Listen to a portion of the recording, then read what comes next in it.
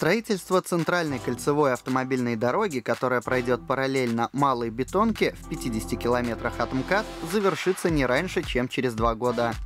Отдельные участки трассы сдаются по мере готовности. Так, к примеру, в ноябре 2017 года был введен в эксплуатацию обход Звенигорода, а теперь еще и 9-километровая дорога у деревни Жодычи в Нарафаминском районе. Старая СТ-7, две полосы было дорожного движения, одна э, в одну сторону, другая в другую сторону. Сейчас мы расширили до четырех полос движения, установили э, наружное освещение, теперь у нас весь этот участок освещен ночью. Вот, установили регулируемые пешеходные переходы, здесь четыре пешеходных перехода.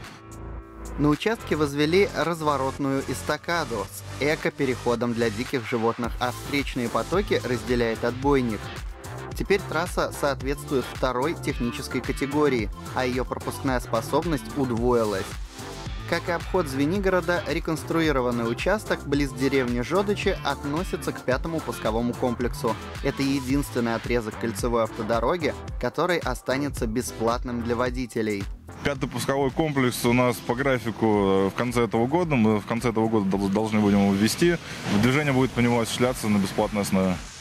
На церемонии открытия нового участка присутствовали представители государственной компании «Автодор», вице-губернатор Подмосковья Игорь Тресков, а также министр транспорта Евгений Дитрих.